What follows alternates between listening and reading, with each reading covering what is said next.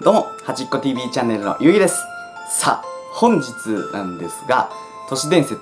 マーキングに関する都市伝説。まあ、マーキングって何って言われたらね、あの、動物とかが尿をして、そこを縄張りだよっていう風にするものなんですが、実は人間界にも存在しているという都市伝説です。今回はそんなマーキングについて触れていきたいと思います。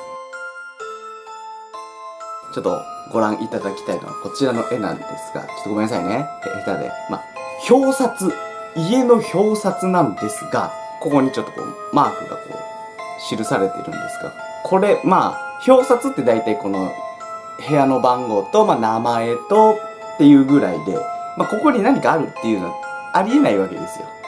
ただ、稀に、こうね、この動画終わったらチェックに行っていただきたいんですが、ここにこう、マーキングが入っていると。これ何かって言ったら、悪徳業者とか、えー、空き巣とかが、まあ、この家を、そのね、このマーキングした家をターゲットにしているっていう時のサインなんですよ。まあ今20、丸がついてるんですが、まあ、丸っていうのは悪徳業者の場合なんですが、これは、えー、話を聞いてくれる。要は、えー、訪問して、えー、いきなり追い返されるんじゃなくて、こう話は聞いてくれると。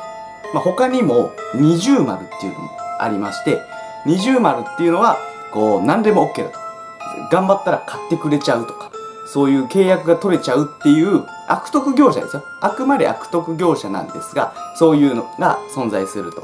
他にもですね、まあ、星の形とかっていうのもありまして、星の形っていうのは、まあ、押せば買ってもらえる。まあ、要は、ご利用しみたいな感じで言ったら買ってくれたりとかするよっていうマーキングなんですが、まあ、大体これ今、表札っていうね、ところにこうつけてるんですけど、これわかんないとこだと、あ、の、水道メーターとか、あと玄関とか、いろいろなそういうね、場所、要は外から見える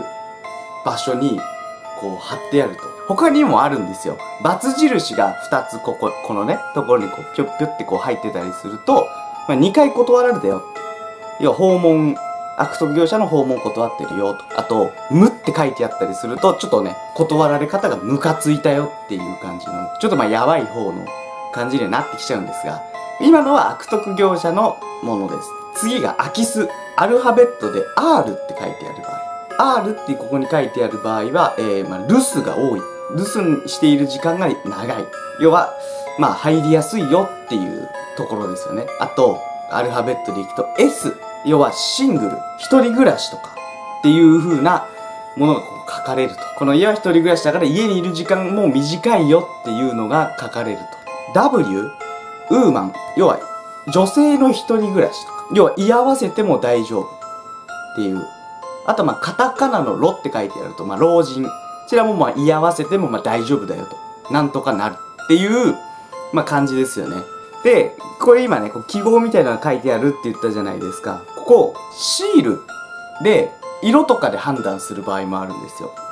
あの、ポチシールみたいなやつをイメージしていただくと多分わかりやすいんですけど、あの、ポチシールみたいなのここに貼ってあって、青色が貼ってあると、な、貧乏な家だと。この家は貧乏だからちょっと入る意味もないよっていうことなんですが、まあ、金色のシール、もうお金持ち。この家はもう入ろうっていうマーキングですよね。で、赤いシールがま一般家庭という風になっております。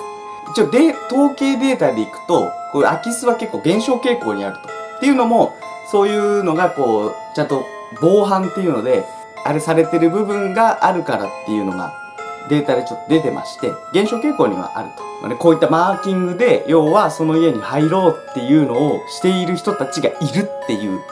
しかも、ついてても、まあ、特に違和感がなければ気づかないことなので、もしね、この動画見て、えー、うちどうなんだろうっていうね、郵便受けだったりとかをチェックしてみるのもいいかもしれません。えー、信じるか、信じないかはあなた次第です。調べてたわけですよ。っていうのも、去年、動画でね、出してるんですけど、空き巣にうちも入られまして、まあね、その犯人見つけたらただじゃおかないんですけど、っていうのもあるので、こういうのでちょっとね、え、防犯という意味で注意喚起の動画になったらなと思いまして、結構マーキングしてると、そのグループとかでやってるとことかは、なんていうの、ローテーションして入るらしいんですよね。その、例えば、うちに入りましたっていう風になった時に、ローテーションしてるんで、何ヶ月とか半年とか1年空けてまた入ってくるっていうパターンがあるらしいんですよ。なので、このね、入ってきたらボッコボコにしてやろうかなと思っております。いや、ぜひね、えー、皆さんこういうのもね、気をつけてください。それでは次回の動画でお会いしましょう。またねー